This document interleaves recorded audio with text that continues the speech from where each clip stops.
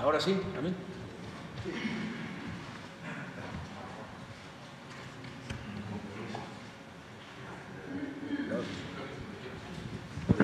Muchas gracias, señor presidente.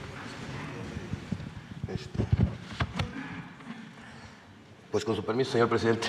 Eh, muy buenos días, señor presidente. Muchas gracias de antemano a todos los presentes por su tiempo, a todos los que nos ven en redes sociales, gracias también. El fútbol en México es un tema de interés nacional. No por nada fuimos el país con la quinta mayor asistencia en el Mundial de Qatar. Este deporte es motivo de reunión y de unión para amigos, para compañeros de trabajo, con nacionales de todo extracto social y creencias políticas. Al mismo tiempo, el fútbol es un gran negocio. Estimaciones seña- señalan que mueve en el país unos 2.800 millones de dólares al año, de los cuales la Federación Mexicana de Fútbol pudiera abarcar cerca de la mitad. Desde hace algún tiempo, este enorme botín ha traído a muchas personas con ambiciones desbordantes, promotores y dueños, que poco a poco han ido desvirtuando el espíritu deportivo del fútbol nacional para darle prioridad a sus ganancias. Este afán por el dinero los ha llevado a romper las reglas de competencia, a cerrarle el paso a talentos e incluso a incurrir en prácticas que son muy difíciles de no verlas como corrupción y evasión fiscal. El fútbol profesional es un negocio privado, eso es cierto, pero también es cierto que toca a la esfera pública. Primero, por ser un tema de interés nacional. Segundo, por su amplio manejo del dinero público procedente de los estados y por, y por gozar estos clubes de considerables condonaciones de impuestos, además de que les concesionan los estadios que les pertenecen al pueblo.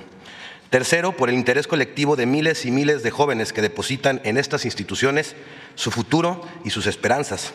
Cuarto, por, por los amplios indicios de defraudación fiscal que lesionan las arcas públicas.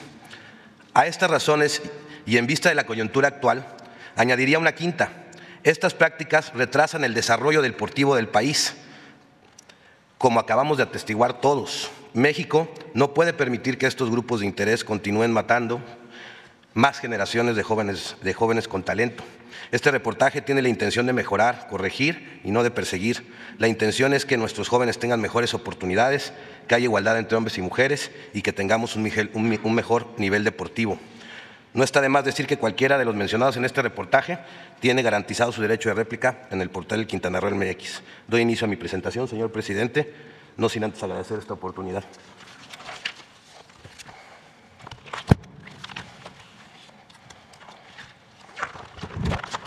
La siguiente, por favor. La, compra-venta de jugadores a sobreprecio ha sido una de las formas en donde se generan más eh, ganancias en el fútbol. Eh, un promotor coloca un director técnico en un club deportivo de primera división que al mismo tiempo él mismo representa o mantiene relaciones con directivos en el club para luego buscar en el extranjero eh, jugadores con un precio económico y revenderlos a equipos mexicanos en un sobreprecio de 100, del 100%, 200, 300 y hasta 500%. El sobreprecio generalmente se reparte entre involucrados y hay moches para poder aceptar este tipo de, de precios. Las operaciones de compra-venta de jugadores no son vistas por el SAT. Y pongo algunos ejemplos de una transacción de un correo electrónico entre eh, promotores en donde, pues básicamente, están diciendo, este correo es del 2012, están diciendo que eh, pues el precio del jugador eh, real, que por ejemplo en el caso del jugador Funes Mori, en ese momento eh, su precio real era de dos- 2.5 millones de euros y lo querían vender en 4.5 millones de dólares. O el de Vilchis, Andrés Vilchis, que es un, fue un goleador de la Copa América, y pues bueno, eh, pensaban sacarlo entre 1.5 y 1.8 para revenderlo en 4 millones de dólares en México.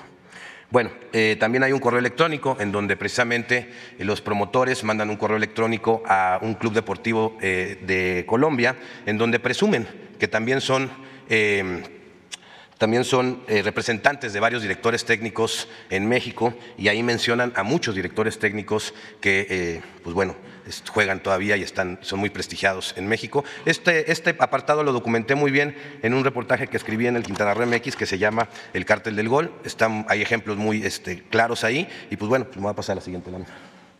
Luego los contratos privados para evadir impuestos.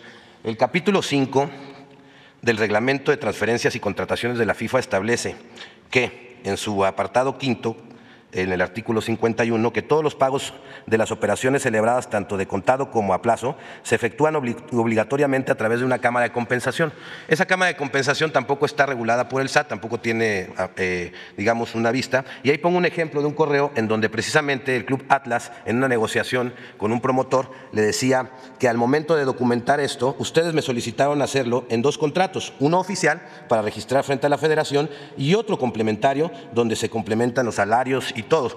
Y estos contratos, pues bueno, pues también vimos aquí la compra del Club Pachuca que realizó con una operación con un jugador de 7.5 millones de dólares a una empresa que se llama Colarca SADCB, que en fuentes abiertas pues, eh, pudimos eh, ver que es una importadora y pues bueno, este es el uso, digamos, de los contratos dobles y para dejar más asentado este tema eh, voy a presentar una grabación entre un presidente de la Federación Mexicana de Fútbol en activo con un presidente de club en donde precisamente ellos hablan de los contratos por fuera y por dentro. Eh, contratos por dentro es peculiarmente interesante porque está hablando el presidente de la Federación Mexicana de Fútbol eh, y pues está violando su propio reglamento, ¿no? Porque se supone que debería de pasar todo por la Cámara de Compensación, pero pues él mismo está diciendo, entonces no sé si lo podemos escuchar. ¿Y tú? ¿Seguirás viviendo en Honduras y todo? Todo bien, gracias. Oye, gordito lindo. Mande. Un favor, este gordito, no me ha pagado Morelia. No me ha pagado Tijuana. Este estado encima de, no, no son de mamadas, Álvaro. cabrón, son mamadas, cabrón. Diga Guzmán, gordo, que no mames. Diga Guzmán también. Que no chingue, gordo. Lleva más de dos Ah, meses. Creo que hay una bronca con el de, que, aunque Bonilla y yo hemos estado sobre eso, pero el de, el de Morelia es por afuera, ¿no? Sí. O- ¿Y Sí. ya lo metiste? No, no, lo- eso es lo que tengo que, por eso te hablaba. También hay que meterlo antes, ¿verdad? De la liguilla y todo este ¿verdad? Sí, porque eso sirve, güey, porque hoy, por ejemplo, Sí. gana, digo, mañana gana el Morelia y se mete los cabrones. Sí, es que bueno, bueno que me dices, oye, ¿qué te mando? La carta y el contrato firmado por ellos, ¿verdad? El convenio. Mm, Sí, mándaselo a, a Enrique Bueno, para que lo meta a controversias y, y, y inicies la controversia. Pues sí. Pues. No quiero ese pedo, pero no mames, cabrón. Y también el pinche Jorge ni, ni me contesta, gordo. Hank, ¿Cuánto me contesta. No, me debe ahorita 15 millones desde hace dos meses, gordo. Y eso está por dentro, gordito.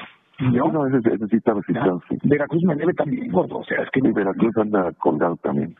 no, gordito, es que sí está cabrón. Ojalá y se metan, como tú dices, para que ahí nos agarramos de los huevos, cabrón. Exactamente. Pero lo que sí me da, o sea, a uno le exigen mi gordito puta madre, cabrón. Yo que yo sí, Pero, flujo pues, a todos- verga. A todos No, yo nunca le fallo a nadie.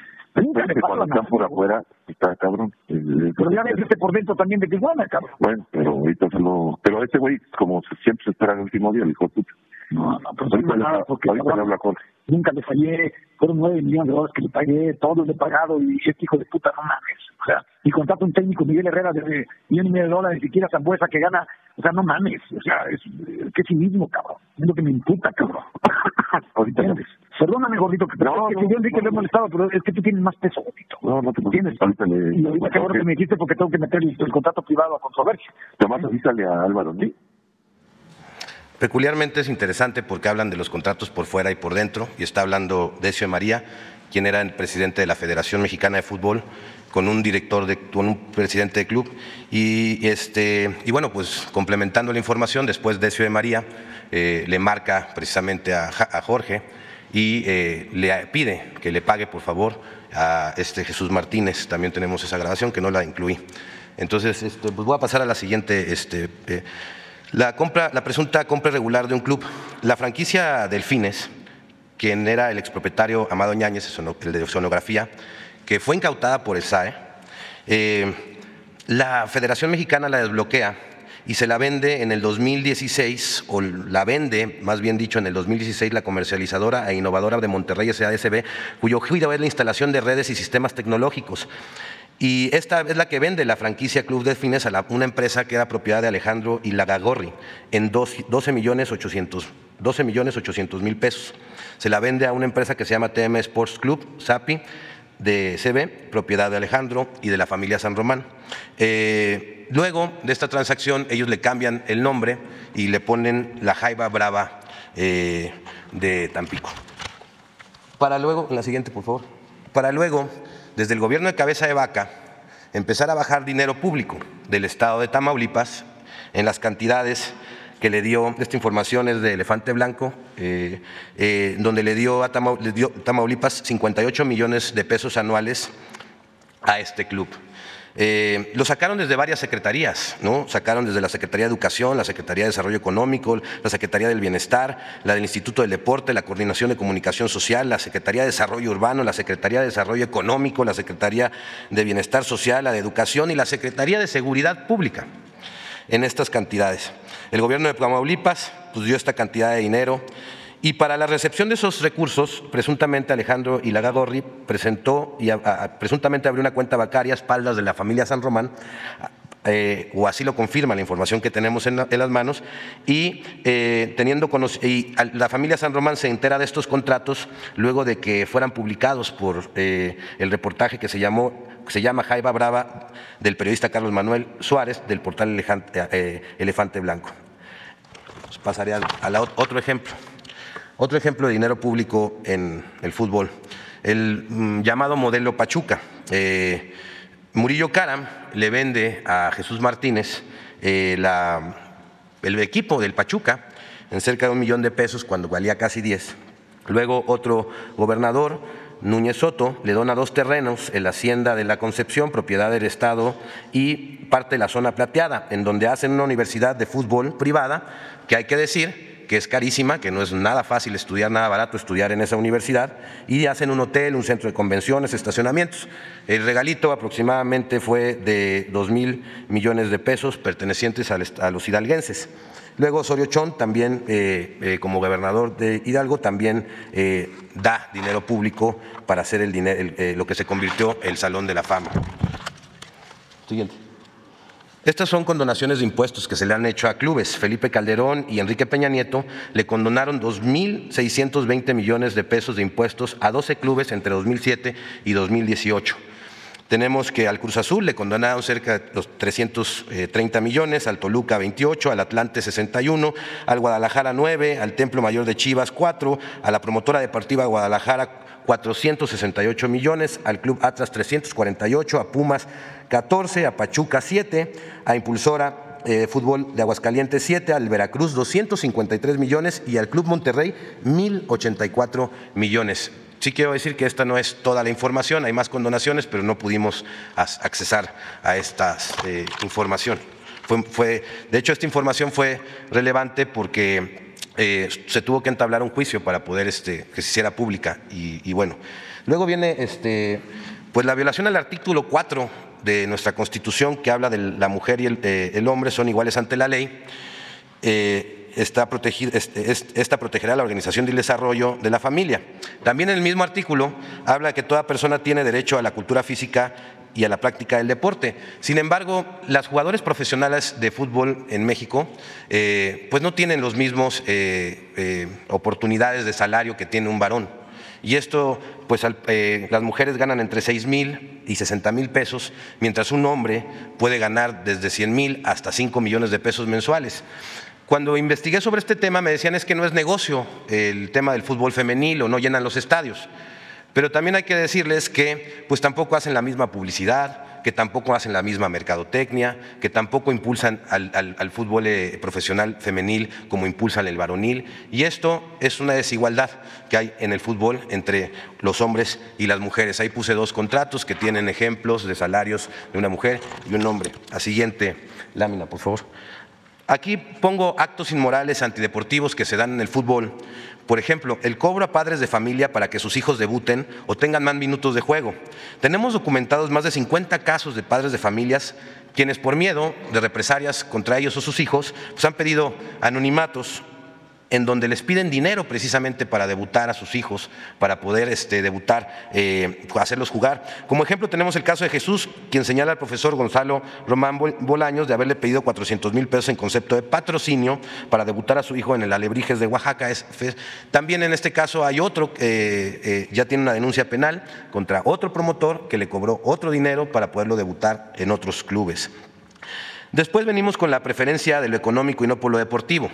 El afán de priorizar los beneficios económicos para los dueños de los clubes, estos toman la decisión de eliminar el ascenso y el descenso, lo que ha perjudicado el nivel de competitividad en la Liga MX Y pues bueno, lo hacen para que sus clubes no bajen y porque cuando baja un club eh, a, primera, a la liga de expansión, pues baja considerablemente el precio de la franquicia y las ganancias que tienen de ellos. Eh, también hoy en día cada club puede tener hasta ocho extranjeros jugando en la cancha, lo que limita el espacio a los jóvenes talentos mexicanos y fomenta el negocio de la compra-venta de jugadores a sobreprecio y el presunto fraude fiscal del que habíamos hablado en la primera, en la primera lámina.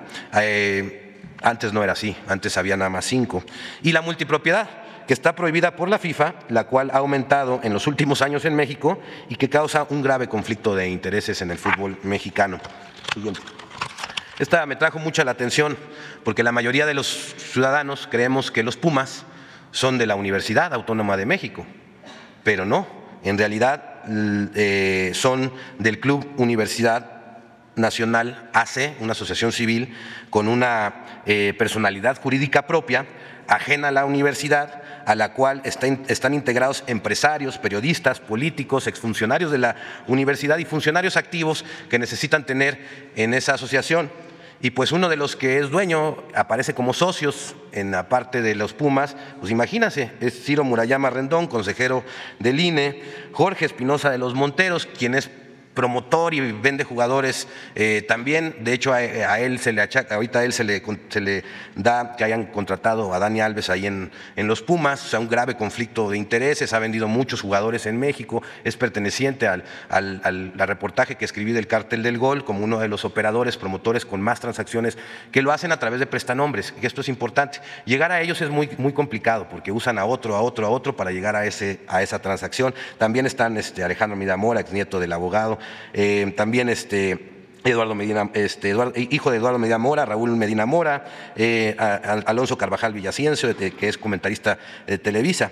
Y bueno, este reportaje fue publicado por Mauricio eh, Romero en el portal Aristegui Noticias. Y pues bueno, es bien interesante porque eh, la universidad le da 50 millones de pesos anuales y le presta el estadio a esta asociación para que, para que puedan este, llevar a cabo sus actividades.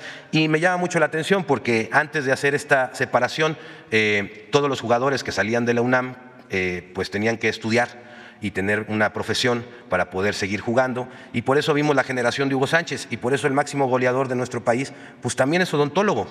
Y dentro de sus compañeros, pues había veterinarios y otro tipo de profesionistas. Hoy en día ya no necesitan estudiar los jóvenes y muchos ponen su esperanza en el fútbol y después no los debutan y después eh, los engañan, les cobran y ¿qué pasa? Pues se quedan sin una carrera, sin una aspiración o con una preparación eh, académica y los frustran. Y tengo documentados varios eh, casos de jóvenes que han sido, que tienen 24 años, no los debutaron, son excelentes jugadores, han jugado en la selección, en la selección nacional este, club, sub 15, sub 17 y después no los debutan en primera división y se quedan ya sin, sin la esperanza y les rompen la esperanza y luego no saben ni qué hacer porque no estudiaron.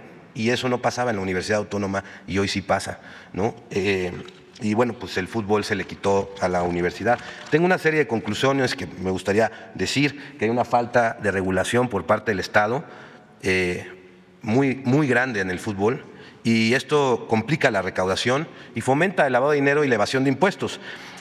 Eh, se debe fortalecer a la Comisión de Apelación y Arbitraje del Deporte, la conocida como el CAT, y se debe prohibir que cualquier persona vinculada a un club deportivo, sea presidente o consejero de esta asociación, de esta, de esta institución, perdón, el CAT debe de abrir carpetas de oficio cuando eh, un hecho público notorio denuncia alguna irregularidad en el fútbol y debe tener carácter coercitivo porque en este momento no lo tiene.